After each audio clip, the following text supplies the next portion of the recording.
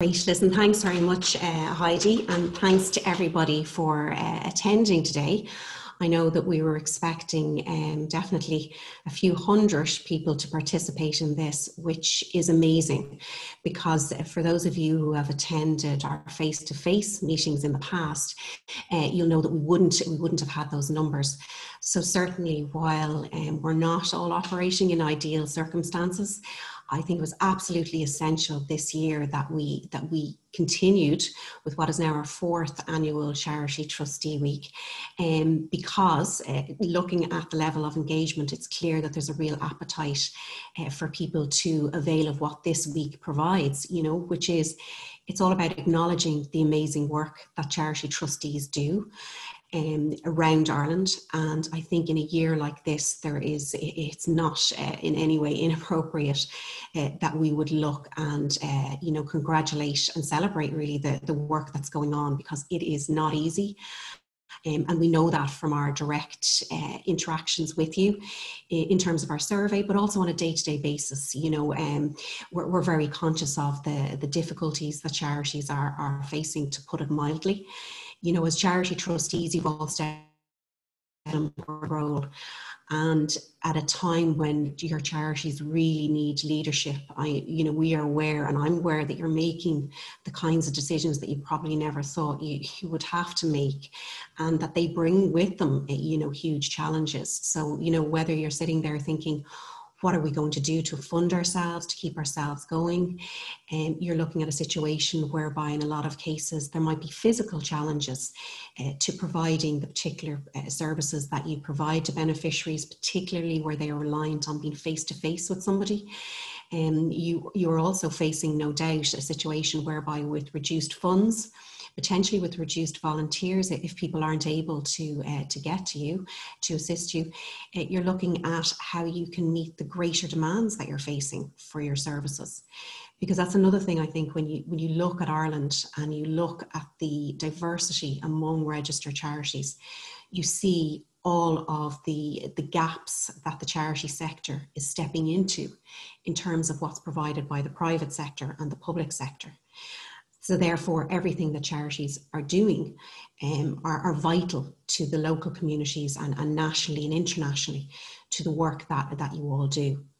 So this is why it was so important for us, you know, when we worked with our, our partners for this week, um, that we would make sure that we had events that were of use to you as charity trustees. And that's been a real a real focus for us to make sure they're, they're practical um, and that everybody can get something from them in terms of assisting you uh, to carry out your, your duties as charity trustees but also to you know give you a sense of what's going on out there with with your peers as well.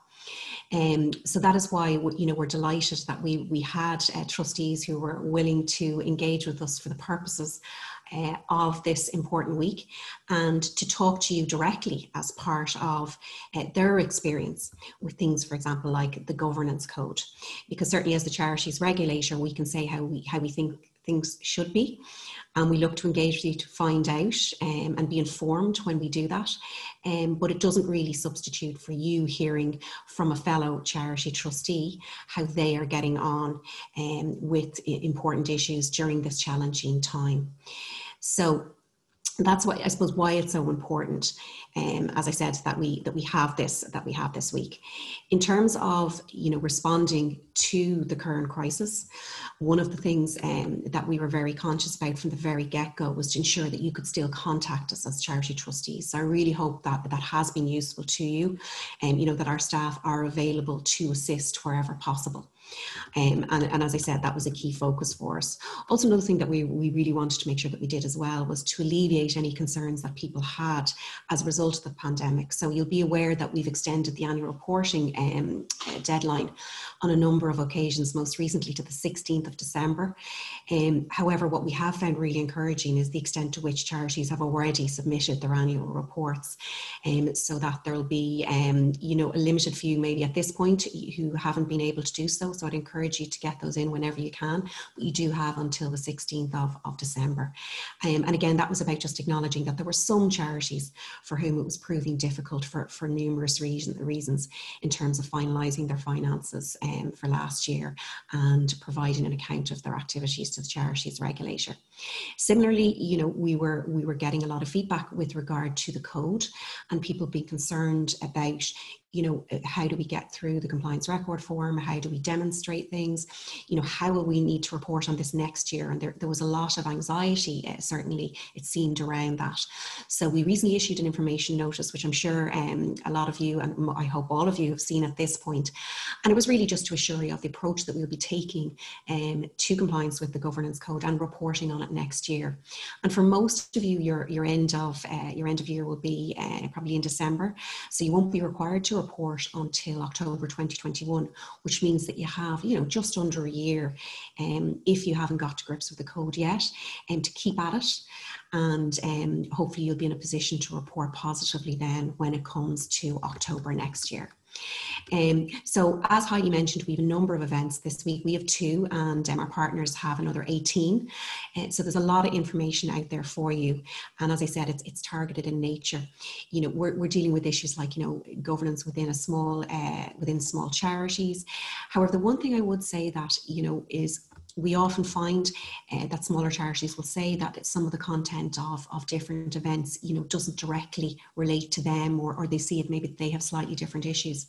And what I would say to you is that as charities regulator, we absolutely acknowledge that there are smaller charities that we need to engage with in order to understand the particular issues that they are facing.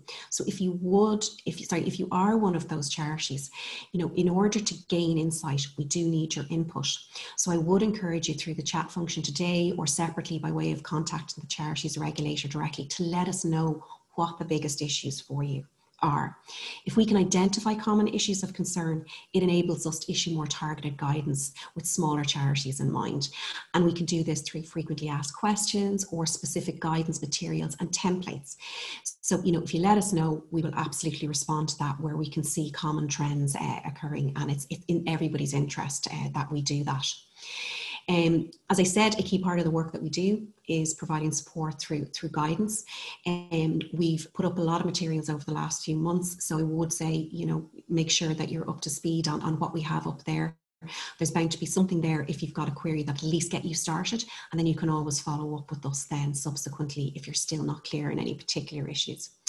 And you'll also be aware that we carried out a survey, a survey earlier this year. We will be carrying out a further one.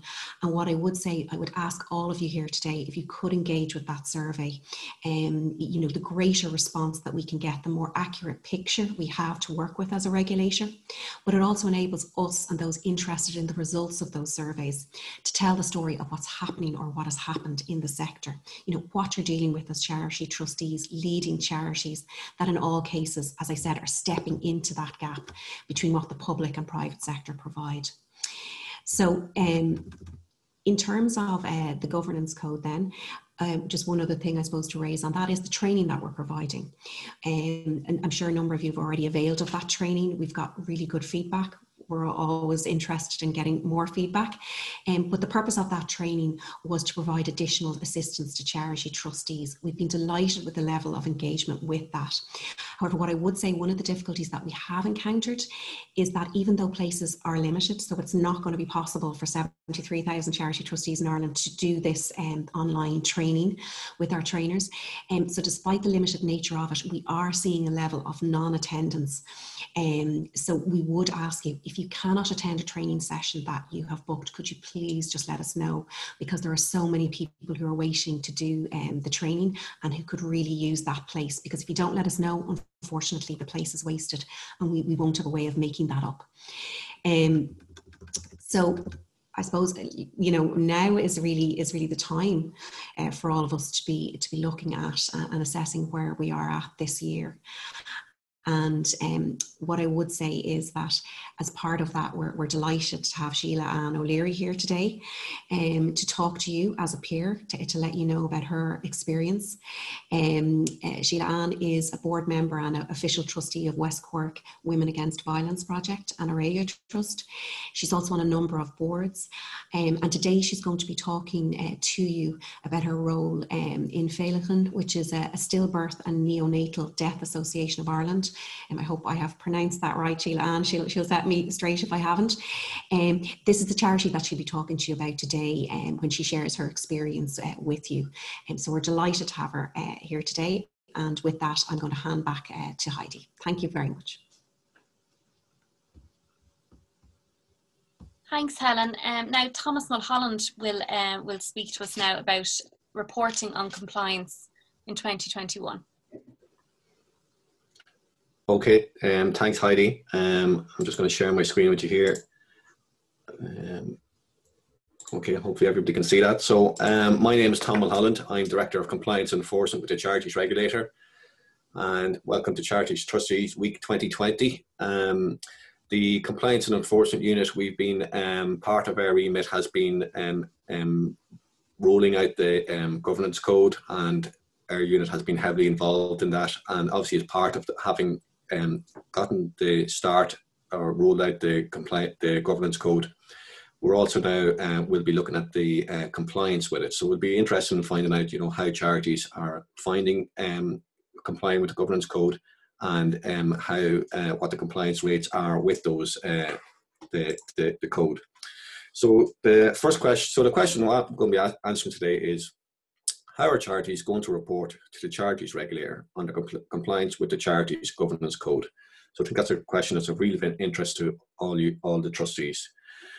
And so first of all, I would like to find out uh, what if our charity, uh, our trustees aware of what is the charities governance code. So hopefully at this stage, uh, the majority of uh, trustees, or indeed all trustees, are aware of the existence of the charities governance code um, hopefully, as well, you've looked at it and, and started work on uh, completing compliance with the governance code. And on our website, we have a whole section dedicated to the Charities Governance Code. It's under our Information for Charities tab, and there's a lot of information available there. There's a lot of guidance documents. There's a lot. There's a frequently asked questions section. There's also um, a sample uh, compliance record form. So it's even got examples of how um, a, a, compliance record form can, can, can be completed. And I know that document especially has been of use to a lot of charity trustees in um, assisting them in fill, filling out their own uh, compliance record forms. So like I say, there's a lot of information available. Training has also been provided online. So a lot of information out there for charity trustees. And like I say, I hope um, most charity trustees are now aware of the governance code and what's involved in it. So as you're probably aware, the, the charity governance code is split into six principles. I'm not going to go start going through the principles here. We've already provided um, courses in relation to the charities governance code. I just want to bring your attention at, of what it is and how it, it can assist the charities. And that's that is the purpose of the charities governance code. It's to assist charities to be the best charity it can be, to assist you in the governance to run your charity in, in, in the best manner possible. So it's really a tool to assist charities and to help them on the journey to be um, the best char the charity you can possibly be. So this here is um, a, a, blank compliance record form. So this is the document that uh, you would be filling up to uh, record how you are complying with the charity's governance code. So that's just one page out of it. And like I say, that that page is or that document is available on the charities regulator website. And again, there's a, a, completed sample on the Charities Regulator website of this compliance record form showing you how it can be completed and what evidence you would need to record to show that your charity is in compliance with the code. Now, once this form is completed, you, you as trustees, you as a charity will retain the document in the charity. There's no necessity to send it into the charities regulator. You'll retain it in the charity you can use it as a guide, as a reference point to go back and review it, the charities governance code on, on a regular basis. It's your document to retain. The charities regulator will only look for it if we happen to pick your charity for compliance checks. And if that is the case, we will specifically request you to, um, to send us in your copy of your compliance record form. So There's no need to send any documentation into the charge into the charities regulator. It's all retained in the in the uh, in your charity.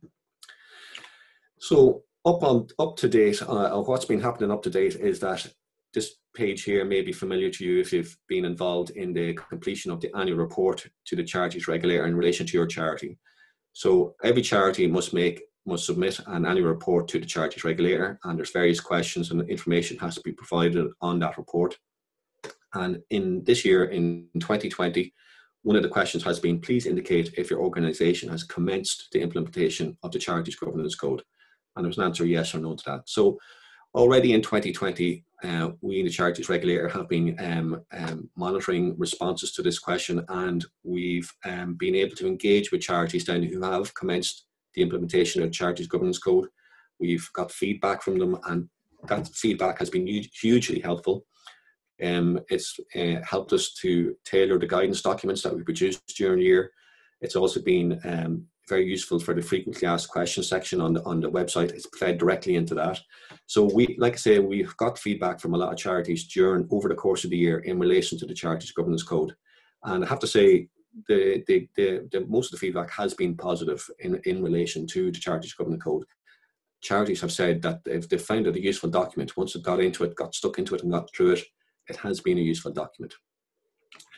So the question then is, what will appear on annual reports in January 2021? So on the previous slide, I showed you the question that's currently on your annual report. In 2021, when your charity goes to file its, file its annual report, there'll be a, a, a declaration. So you'll be making a declaration on your annual report in 2021. So if your charity is fully compliant with the Charities Governance Code, at the date you're making the, declaration. So, in other words, on the day you are filing the annual report, on that day, is your charity, if it is it fully compliant with the Charities Governance Code, then you can declare that on your annual report. I'm calling that the Declaration A. Okay, so that's where the charity has gone through the full process of um, going through the the, the Charities Governance Code.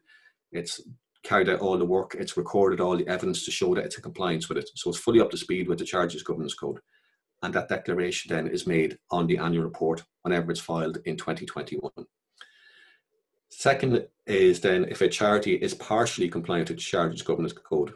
So this is where a charity is um, has has completed most of the Charities Governance Code, but it may not be in, in, in compliance with a certain section of it due to some issue, and it will be possible for make it, for that charity to make a declaration that says that it's partially compliant with the Charities Governance Code and there'll be a free text box, and that box will be um, available there for the charity to explain why it's not in full compliance. So again, uh, we would be interested in seeing, you know, what impediments is there to charities um, being fully in compliance with the charities governance code. So hopefully we'll get a lot of information back in relation to those um, free text box. So I'm calling that declaration B.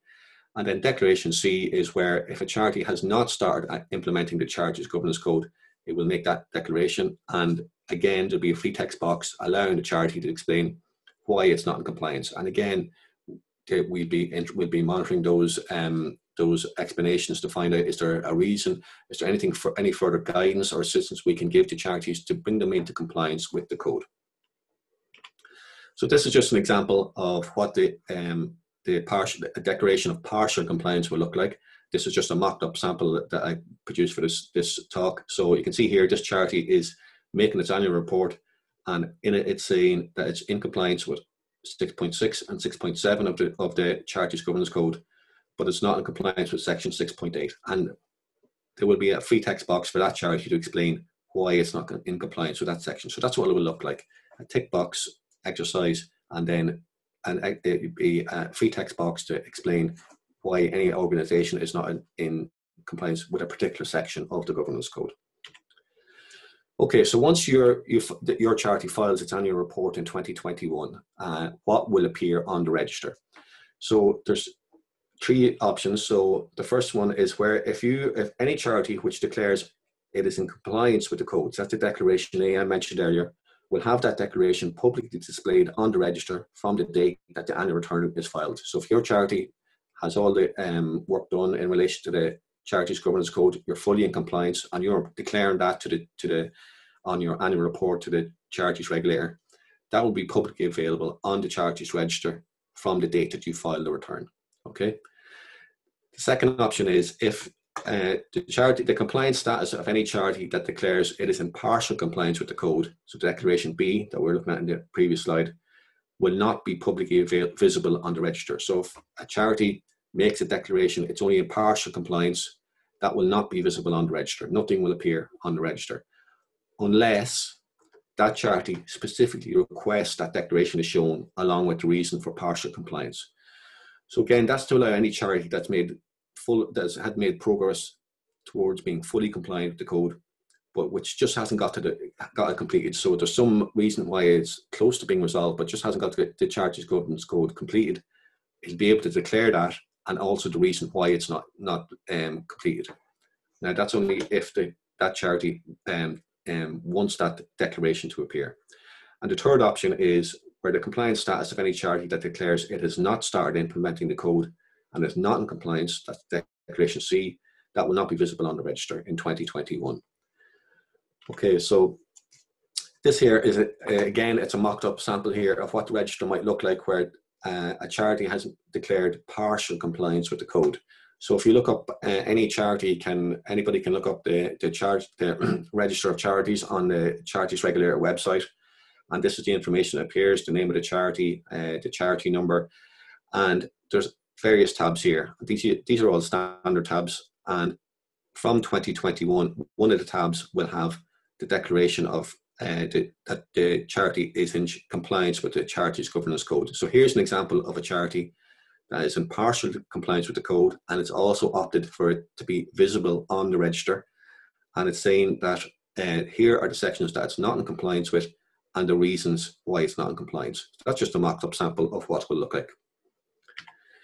Again, as Helen mentioned earlier on, an information note was released there in October setting out all this information. So that again, that information note is available on the website, the Charities Regulator website. So in 2021, um, so next year, it will be possible for charities to update their status on the register in relation to the compliance with the code. So if you are a charity in uh, in, in, March 2021, you uh, submit your annual report. At that time, you're only partially in compliance with the governance code and you make that declaration.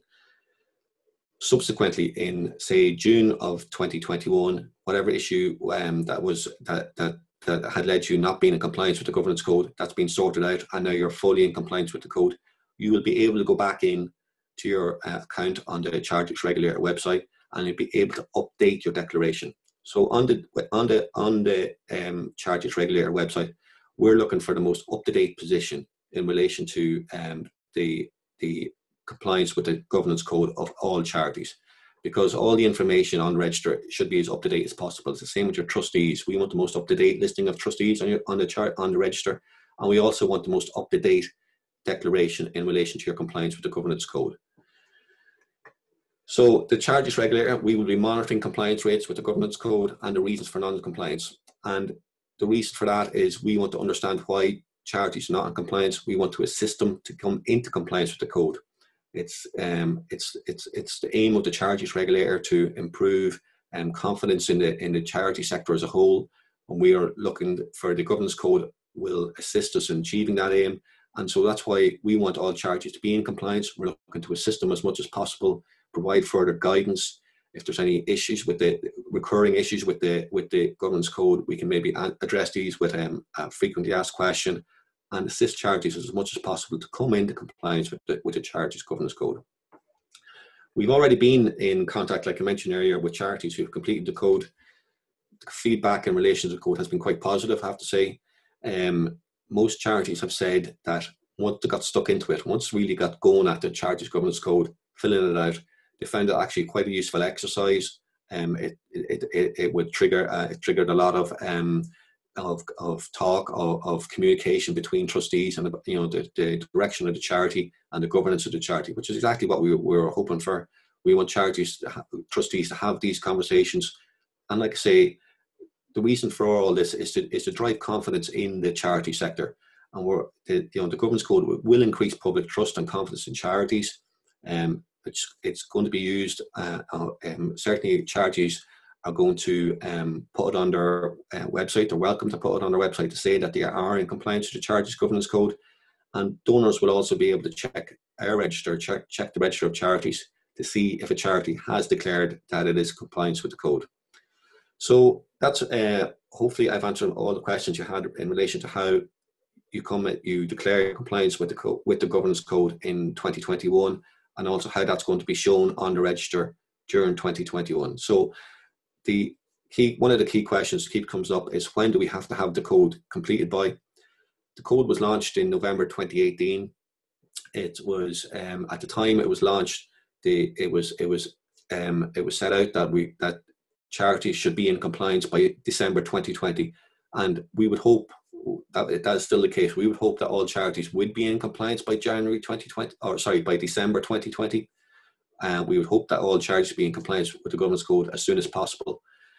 And then in 2021, you will be reporting on your compliance with the governance code at the date that you're filing your annual report. So if your annual report date is the 31st of January 2021, at that date, you will be declaring that you are in compliance with the Charities Governance Code.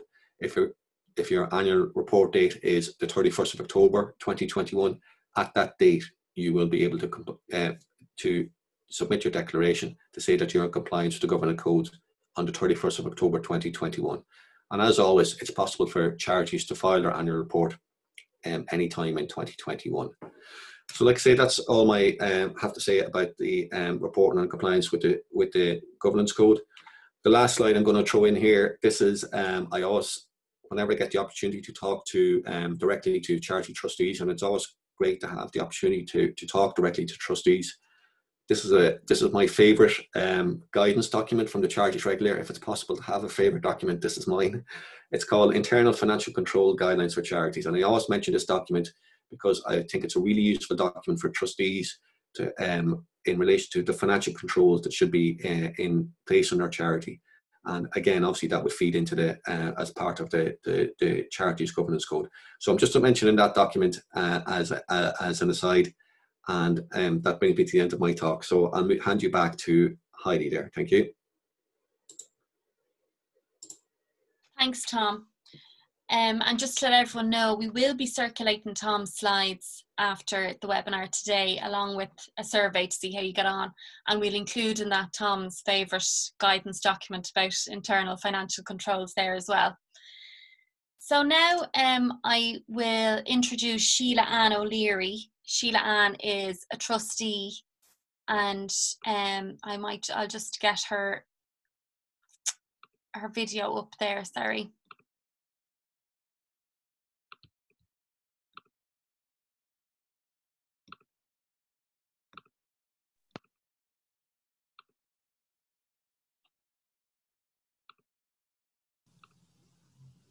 Sheila Anne, are you able to get your video started? Ah, there you are. To unmute. Hi, So, Sheila Anne. Now we have Hi, you. Heidi. Hello, everybody. Thank you so much, Sheila Anne, for agreeing to come on and talk to everyone today because it's all very well us talking, like Helen was saying, it's all very us well the, the regulator saying how we see things being done or how they should be done. But it's much more useful, I think, for charity trustees, particularly the week that's in it, to hear from a charity trustee like yourself, somebody who's been through the road to compliance with the charities governance code. So we really appreciate you coming on today. Um, so Sheila Anne, I might just ask you to introduce yourself to um, our attendees today, if you wouldn't mind. Great. Thanks, Heidi, and thanks to everybody else. Um, as Helen said, my name is Sheila Anne. I'm living in West Cork. I'm a trustee and board member of West Cork Women Against Violence Project, uh, which is self-explanatory, I think, and Aurelia Trust, which is a charity that works with um, group homes essentially in uh, Romania, uh, children that had been uh, rescued, we should say, from the orphanages all those years ago. We still call them our children, but they're they're uh, quite adult, I can tell you. And um, I'm also highly, very involved in a couple of community organisations and also Féileacáin, which is the Stillbirth and Neonatal Association um, of Ireland. And my sister, along with a group of um, six other parents, formed that organisation back in 2006 and 2008. It was incorporated in 2010. And when we talk about the journey of compliance and governance and so on, actually Féileacáin started the journey back in 2006 and perhaps the board members didn't even realise they were on the um, governance journey because if you look at the first principle, advancing the charitable purpose, and this is something I think that every board member and every staff member and every active volunteer in any organisation needs to remember is the purpose. Why did you form the organisation in the first place? And you need to keep that central to it. And actually, if you do that, you'll find that the other five principles then will actually support and they'll fall into um, to place. So um, when we look at, at the, the Féileacáin's journey, I think that's would be from a personal point of view, that's when the board started. And then from a, a I suppose, a, a formal compliance um, in 2018, I completed the Certificate of Charity Law, Trusteeship and Governance with the Law Society and the Wheel. It was a fantastic course. And I took my learning back to the board and we started the process then. We knew it was coming down the tracks. We knew we had to do it. And it started off as a kind of we have to do it. Oh we better get on with it and do it. Actually it was a fantastic experience. It was empowering for all people involved in it because essentially we knew god you know we're good. We're actually we, we've a huge amount of it done. And i think that was really important. And so Sheila, and then so you were saying you knew it was coming down the tracks, of mm. course, uh, since its launch date. Yeah. But do you want to just talk us through maybe the approach, the the, the practical approach that that you took to mm-hmm. starting? I suppose I, I was slightly ahead of, of the, the the game, if you want to say that, because of the um the, the having completed the certificate. But when it actually came to it, we don't we spent some time on the charity's website. We downloaded all the documents. We spent a bit of time actually making the plan and i think that's really really important that it, otherwise it becomes very, very daunting.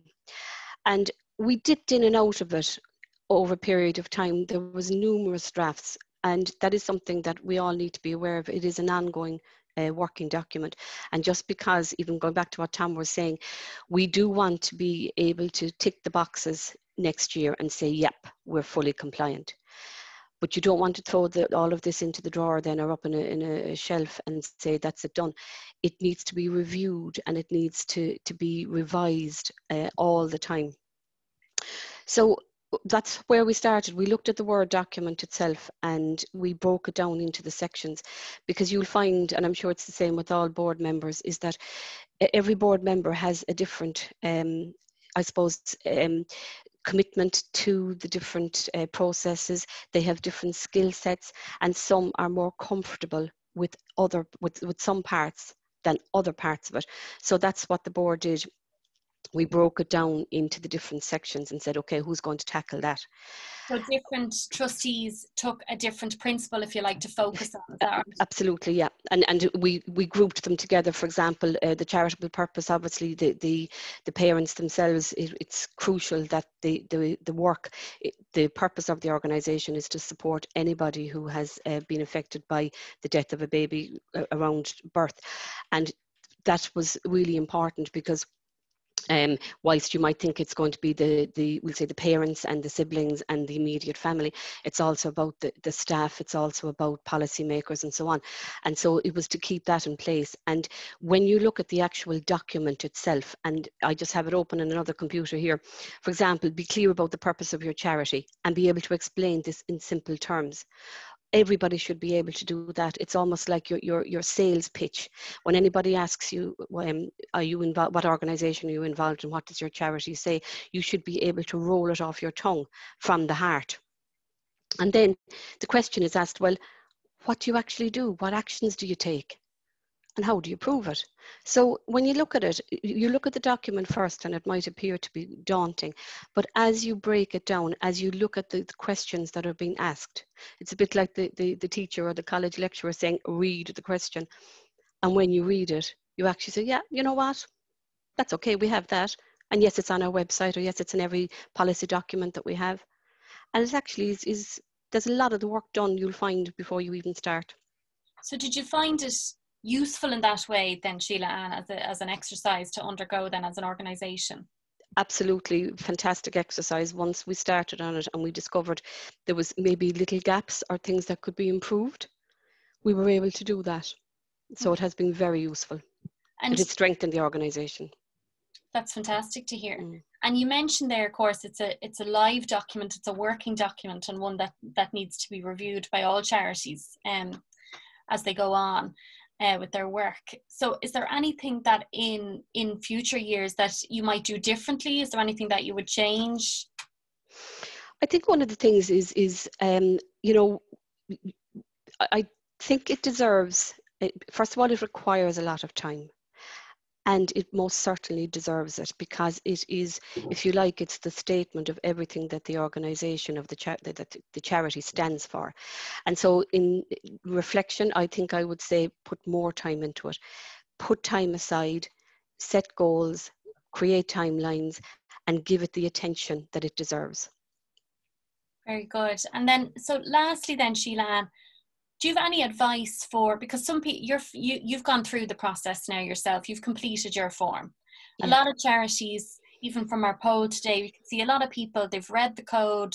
They've maybe started their compliance form. Some people haven't started their compliance form yet, and a lot of people are very new into the sector and maybe haven't begun the process. So, do you have any advice to somebody who's been through the process? I think the first part of the advice would be get started. You know, the journey of the thousand miles and all that is actually just started. Make the first step. It's like typing in the first piece of information on it. First reading, it is a bit daunting. You might be asking yourself how to, to answer those questions. Tom mentioned already about the compliance record, the sample that's there on the website. When you download it and look at it, you can see, oh, yeah, that actually makes a lot of sense you'll see how it flows and then you'll actually be able to, to pull in the information together. As I mentioned, put the time into it. It does require it. It does deserve it. You're going to place a value on the process and on the outcomes and you become a much stronger organization as a result of it, most certainly.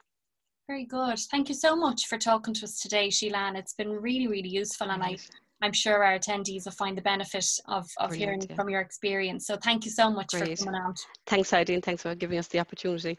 Thanks, Sheila. Thanks.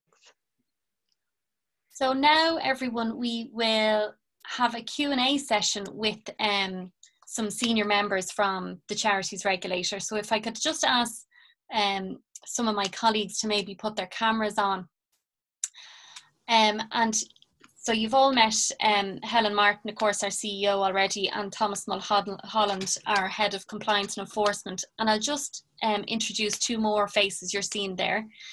Eamon O'Halloran is head of registration and projects at the charities regulator, and Yelena Krishenko is head of compliance monitoring. So they'll be joining us for the for the question and answer session. And as I said, we'll get through as many as we can. And if your question is not answered today, it might pop up on the, the FAQ section that we're going to add to the events page on our website, or you can use the contact us tab on our website and submit your question and, we, and a member of staff will be happy to get back to you. So um, I just, I'll crack on. So, um, and the first question that we got in was, um, well, we got a couple of questions in just asking for a reiteration, I think, of the dates. So Thomas, you might just go through, explain again, when do people need to be able to report on their compliance?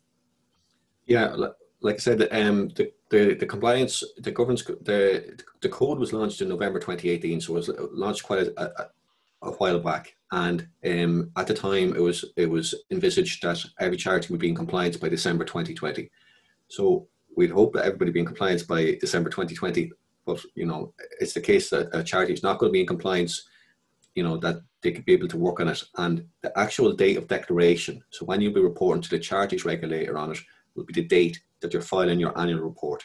Okay, so if your annual report is due on the 31st of March 2021, that's the date you'll be you'll be you'll be you'll be making your declaration of compliance, and it's at that date that we're interested in knowing if you're in compliance or not. So it's the date that you're filing your annual report, whether you're in compliance with the governance code, is the is the key date. Okay, thanks, Thomas. So the next one that we got in is this um, charity trustee says asks if some standards don't apply to my charity, i.e., employment law, can we still declare full compliance? Um, yes, uh, so I'll take that question. Um, um, some charities will find that certain standards are not applicable, and that's okay. You just simply state it on the form that they're not applicable and just state the reason why. Uh, but if you meet all of other applicable standards, then your charity is in full compliance with the code. Okay, super. And so another, a, a similar question um, or related, how do I know if my charity needs to fill out the additional standards? Um, and actually, and I'll give another question then, which is linked to that, which is how do you classify what a smaller charity is? Okay, so if you look at the code, you will see that there are six principles, and then under each principle, you will find a number of core standards that every charity in Ireland is expected to achieve. And there are also additional standards for more complex charities. So the, the code was specifically written without defining what charities should achieve those additional standards, because ultimately it's the decision for charity trustees to make. And because of the uh, diversity of the sector, it was actually hard to define complex charities. So as trustees, uh, there are certain things you should look at, like um, level of income, for example. Um, you should look if your charity is working with vulnerable people. And if you are, that will make you a more complex charity for the purpose of the code, or maybe if you're operating overseas. So these are the things that you should be looking at, you know, when deciding if your charity should achieve um, additional standards.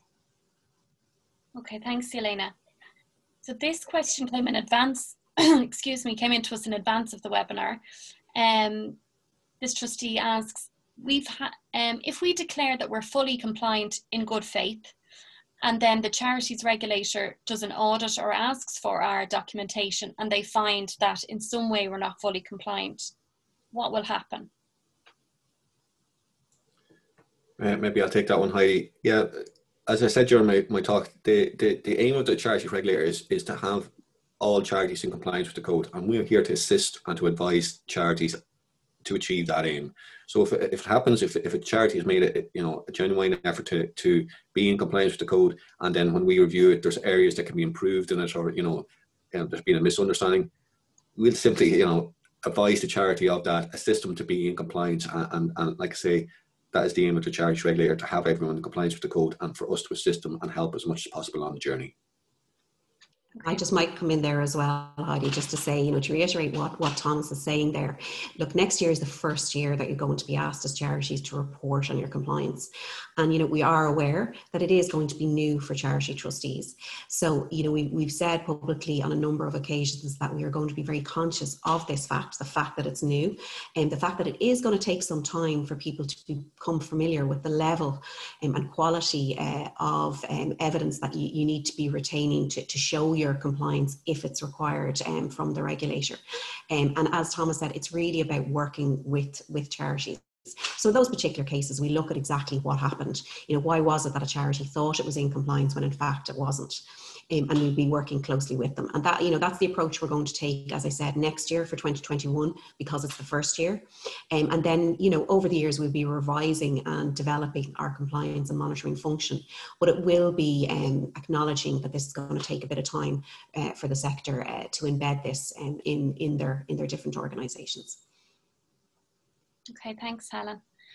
So the next question that's come in is do small charities have to have unabridged accounts given that it is in the additional standards section? I think so. Yes, so, so what I'll say here, um, just just in general terms, charities should be as open and as, as transparent as they can in relation to their finances, in relation to their governance structures, um, and they and there should be no reason why a charity is filing abridged accounts because um, and for those who are not familiar with the term abridged account it's basically a set of accounts that does not have any information in relation to income and expenditure of that charity and then the level of disclosures is quite limited. So those type of accounts do not really tell much um, about your charity finances and, and governance. So, uh, so what I'll say here, all charities should be as open as they can in relation to their finances and governance. I think, sorry, if I could just come in there as well um, on, on that one. I mean, what we're what we're we're seeing is that we we see a, abridged accounts in circumstances where, in order to actually create those, you have to have a full set of accounts anyway. Um, and what we would say to charities who are companies in particular is that while it may be legally permissible under uh, company law for you to file those abridged accounts, we do think that as charities you owe a level of disclosure and transparency because of the nature of the public support and funding that you get to be fully transparent. So it, it's really about doing uh, doing the right thing. And to be fair, we have found some charity trustees who've come to us to say, we had no idea that these were filed um, uh, by way of abridged accounts. So it's a, it's a good question for charity trustees to go back and make sure whoever is filing their accounts for them that they're they're filing full accounts and, and being transparent and at least understand what you're doing as a as a charity. Thanks, Helen.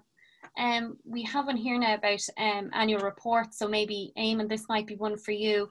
Um, our charity found it difficult coping with COVID 19 and we've missed our deadline to file our annual report. Yes, so uh, if they were due to file between the 12th of March 2020 and the uh, up until actually the 15th of December, that's been extended to the 16th of December. So you still have time.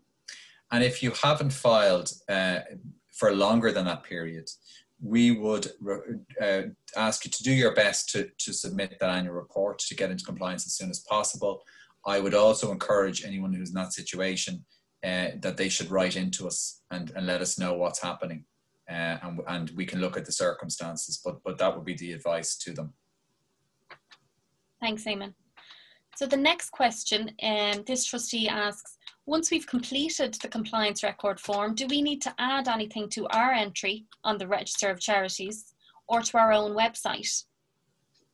So I guess what they're asking is, should they, should they be publicising the fact that they've completed their form and they're in compliance with the code? Yeah, well, I'll take that one. Well, one of the questions, like I said in, in my talk, was that one of the questions on the annual report will be a declaration that will be required by each charity to, say that it's whether or not it's in compliance with the governance code. And certainly, apart from that declaration, um, I would encourage charities to to to to publicise the fact they are on, in in compliance with the code on their own website. They're certainly welcome to do that, and I think it's an opportunity perhaps for charities to encourage um, donations and to de- demonstrate to the public that they, they, they, that governance is a, is a serious issue and that they take it seriously and they've been they've made the effort to be in compliance with the code. So it's certainly an option for charities to to to, to put that on their own website. And th- this is this is kind of related as well. Actually, we had another trustee. Uh, they're talking about funding in particular. They're saying, is there going is it going to be is it going to be mentioned on the charities regulator website if we're in compliance? We're wondering for funders. So I think they're wondering, is it going to be advertised on our on the, the register of charities, um, which charities are in compliance or not? Yeah, it will be uh, anybody, uh, the, the declaration, if a charity is in full compliance with the governance code in 2021, that declaration will be uh, publicly available on the register, the same as any other the standard information about charities, such as the listing of trustees, some financial information, the, you know, the contact details for the charity. Anybody can any, any member of the public or any donor or any funder can go into our website and look up each an individual charity and, and get basic information. And one of the items of information that will be available in 2021 will be the declaration of compliance with the governance code if the charity makes that declaration. Thanks, Thomas. So the next question in from trustee, and this is a difficult one. Um, we haven't been able to meet because of COVID-19 what can we do? Because some of our trustees don't have stable internet access. We haven't been able to sign off on some of the principles yet. So how can they meet, I guess, if they don't have stable internet access this year? I suppose I can come in here um, as well as using internet. Uh, trustees can use phones. Um, uh, somebody can set up a, maybe um, a, a, conference call for trustees, and also um, maybe some people are not aware. Uh, platforms like Zoom allow people to actually dial in by phone. So if you're not comfortable using uh, maybe um, internet or you know those kind of online platforms, you can always use your phone, and I suppose that's something you can look into. Thanks, Elena. Um, sorry, now. I might just come in there as well. I think one of our one of our partners um, for this week, uh, for Charity Trustees Week um, Boardmatch, uh, had some useful guidance on that on that specific issue of what you do if you can't physically uh, meet. So that's um, some material there that I would I would advise uh, that that person to look at as well. Great, thanks, Elena and Helen. So the next question we have in just now uh, from a trustee is: If a charity gets no public funding, what is the requirement on it to be compliant with the Charities Governance Code? I'll answer that one. The, the governance code has, has, nothing to do with funding. Funding is entirely a matter for individual charities, and all charities, as, as that uh, question points out, um, are funded in different ways. Some people may be entirely funded by the state or partially, or may in fact get no funding at all. The Charities Governance Code is about charities being regulated and it is a set of standards of basic governance requirements that all charities um, who are registered are required to comply with. So the issue is not your source of funding, the issue is the fact that you are a charity operating in Ireland and you are a registered charity. So it applies equally across the board. Thanks, Helen. So the next question is, um, is there a simplified code for very small charities? Well, the code is, is, is in itself directed at small charities. So it was written, um, and we got assistance uh, from NALA actually to make sure that it was it was plain English. So uh, the code itself is is directed as as I said very much towards the smaller purely volunteer led charities, um, and it's one of the reasons why um, I think it was quite well received originally in any event because it was something that people felt that they could work with because it was easy to follow. Um, and also I think the fact that it's split out into the core standards, which apply to all charities, um, and then the additional standards um, should, should make it easier. In addition to that, we have a full suite of, of guidance materials that are available um, online, and these include things like templates, how do you do your minutes, um, you know, all of which is designed with smaller charities in mind. Thanks, Helen. So the next one, I think, Elena, probably is is um, a question for you, really. Um, do charities have to prepare SORP accounts? This trustee is asking.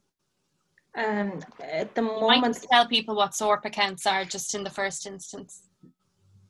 Yes, so so basically, Charity SORP um, sets out uh, how to prepare um, uh, charity accounts uh, in line with IFRS 102, and it sets out certain standards that charities should uh, should follow.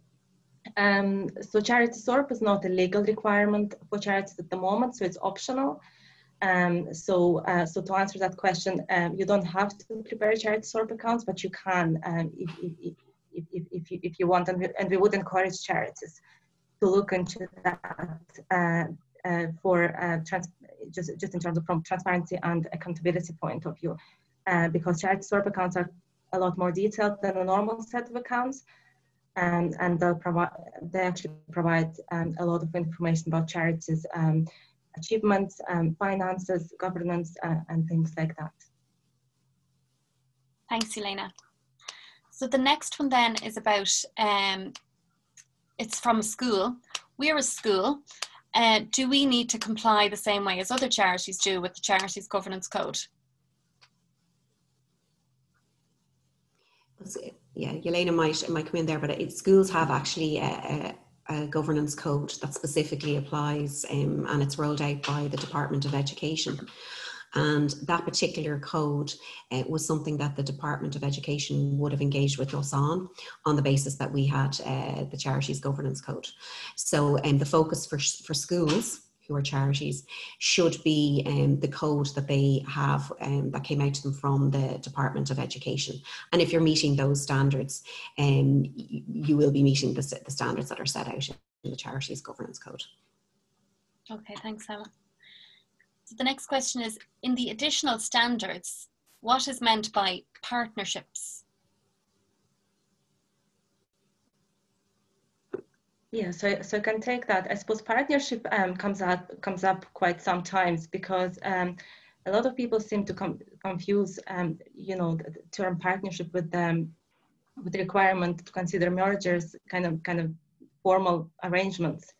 Um, but it's not just about formal ar- arrangements like mergers. Um, it can also include other things like you know um, work and maybe networking, um, uh, maybe um, doing a joint events with charities or maybe doing a joint advertising and things like that. It's just basically trying to kind of reach out to other charities for maybe some help, some some guidance. Um, uh, so as I said, it's not just about for, formal arrangements like mergers, but it's also about just working with other charities just in general. Thanks, Elena. So the next question, I think we've we've time for one or two last questions. Next question is about insurance. Um, trustee asks, is there now an increased need for trustee indemnity insurance? Would you recommend that all trustees have this type of insurance? Um, just in relation to insurance, um, I suppose, I suppose what, what I'll say is just in kind of general terms, um, uh, charity trustees have a legal duty to protect charitable assets. Um, and insurance can be used as a way protect our assets. It shouldn't be the only way, but it can be used um, as a way uh, to protect our assets. And just to give you an example, um, in terms of you know the type of insurance that you might need, um, for example, um, you might need um, insurance to cover a property against loss or damage. So you would have things like building insurance or contents insurance or if you're planning an event, for example, you may need an insurance for that event. Um, uh, but, but what I'll say, if you're thinking about taking out any type of insurance, you should consider taking professional advice in relation to that um, if, if you don't have the expertise on, on, on the board yourselves. Um, maybe maybe speaking to, to an insurance broker, um, they, they should be able to provide you with with some advice in relation to that. Okay, I might just come in there briefly, yeah. Heidi, as well. That there is there is professional indemnity insurance. I think that's maybe what that question was was getting at, um, and that is inv- that is available out there from from uh, I think a number of providers. Eamon might might correct me on that, but I think uh, it is available to charity trustees, and it's certainly something that that charity trustees should consider. Um, I would say particularly you you, you know certainly we would often see it obviously in the case of of companies where um, the directors who are who are charity trustees will, will often have professional indemnity insurance. Um, but it, it, I would say it's particularly important as well if you're an association. So um, if, if, you, if you're not set up as a company and you don't have that protection of limited liability, that it is something you should, you should definitely consider as, as charity trustees. But again, as, as Elena was, was saying there, it's, it's something that you should really get some advice on. Um, but certainly from what we see, um, that's where I would see the, the need being that it's, it's something that you consider and it is something that is available to be bought out there um, in the market for, from insurers. Thanks. Could I come in just for one second, Heidi? Just to say, I think, yeah, um, I think what we need to remember as as trustees is that you are the guardian. Um, you you have an, an obligation, not only a legal but a moral obligation, and sticking to the six principles is the most uh, important thing of all. And you know, we were talking about the partnership question. Um, if you're going to go in collaborating with anybody, you need to make sure that they're as tuned in and as as committed as you are yourself. That's a really good point, Sheila. Yeah. yeah, thank you. And also that the char- it, it, chimes as well with your charitable purpose. That you know Absolutely. that you're not, you don't end up through a partnership with another charity getting involved in something that doesn't advance your charitable purpose. So yeah, they have to be, you know, very carefully aligned when we talk about entering into yeah. any kind of arrangement. Yeah. Okay, I think we're just it's just one o'clock. I'll ask one very la- very final question because um it's a, it's a simple enough one. Um, this trustee says that there's a lot of mention of minutes in the compliance record form. Um, is it consider does the regulator consider it best practice to add the governance code to an to be an agenda item for discussion at every board meeting or even at the AGM? Yeah, and that's something that we would always suggest, you know, that charities do, like, you know, because you have to remember that governance code it's your compliance record form, it's, it's your live document. It's an ongoing process. So that's something you should be looking at all the time. So having it on the agenda at your meetings, it's, it's, it's a good place to start um, at least. Okay, thanks, Elena. So as I said, we're just at one o'clock, we're a minute past. Um, I'd like to thank Sheila Anne again for coming on to join uh, the staff at the Charities Regulator for today's webinar. Um, we'd like to wish you all um, a lovely Charity Trustees Week. Um, I hope you found all your webinars and events really useful. And of course, if you have any further questions, please do get in touch via the Contact Us tab on our website. Our website is www.charitiesregulator.ie, just here behind me, in fact. Um, and a member of staff will be happy to get back to you. So thank you very much and enjoy the rest of your day.